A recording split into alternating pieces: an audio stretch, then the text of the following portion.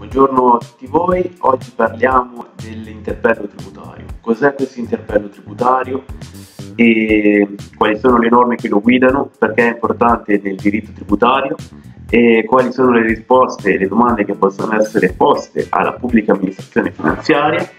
quali sono i risultati che ottiene il contribuente dalla risposta, del contribuente, dalla risposta dell'amministrazione finanziaria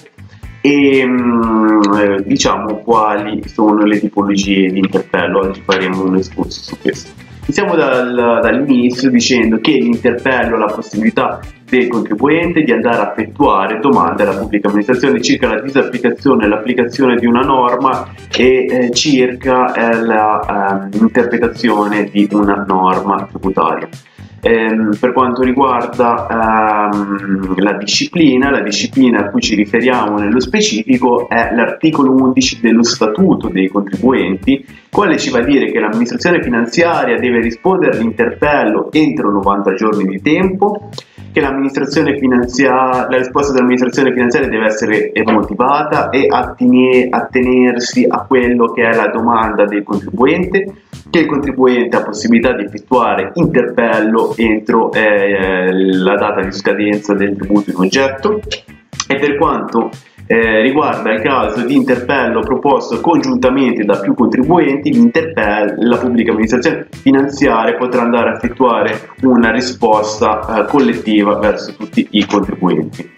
Per quanto riguarda chi va presentata fisicamente la domanda di interpello, la domanda di interpello va presentata fisicamente all'ufficio, va presentata all'ufficio che si occupa del tributo in oggetto per il quale si effettua domanda. Per quanto riguarda eh, l'imposta di registro, mm, eh, l'imposta sui redditi e l'IVA, le domande vanno presentate all'Agenzia dell'Entrata. Per quanto riguarda i tributi locali, vanno presentate le domande al comune di residenza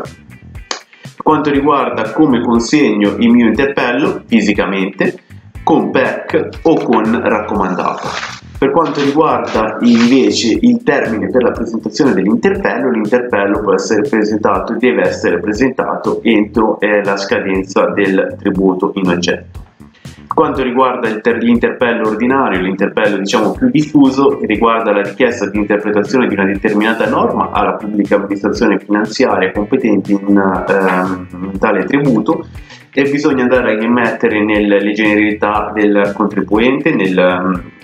nell'ordinanza di interpello, bisogna andare a mettere eh, le generalità del, del, contribuente, bisogna andare a mettere una descrizione circostanziata e specifica dei fatti e la normativa tributaria per la quale si richiede l'interpretazione. Per quanto riguarda l'interpello eh, può essere dichiarato inammissibile nel caso in cui non vengono eh, indicate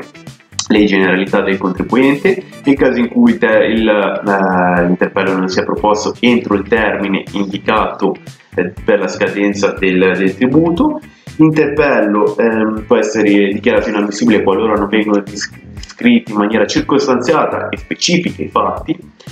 l'interpello può altresì essere eh, dichiarato inammissibile nel caso in cui ehm, riguarda una fattispecie per la quale il contribuente ha già chiesto un chiarimento con una verifica fiscale o nel caso in cui sia già stato proposto un interpello e la pubblica amministrazione finanziaria si sia già espressa precedentemente su come debba essere interpretata quella determinata norma. Per quanto riguarda le risposte che può effettuare la pubblica amministrazione finanziaria al, al tributo in esame, le risposte possono essere di un silenzio che equivale ad uh, e quindi accoglimento della, della, interpretazione data dal contribuente, può effettuare un'interpretazione difforme da quella data dal contribuente un'interpretazione quindi conforme a quella data dal contribuente che effetti,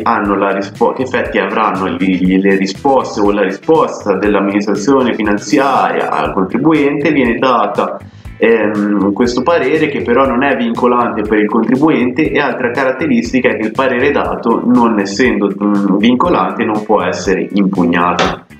Per quanto riguarda le tipologie invece di interpello che possono essere proposte e sono quattro, sono l'interpello ordinario, l'interpello probatorio, l'interpello antiabuso e l'interpello disapplicativo. Per quanto riguarda l'interpello ordinario, sicuramente più semplice, sicuramente più diffuso, si chiede semplicemente alla pubblica amministrazione come deve essere interpretata una determinata norma. Per quanto riguarda l'interpello probatorio,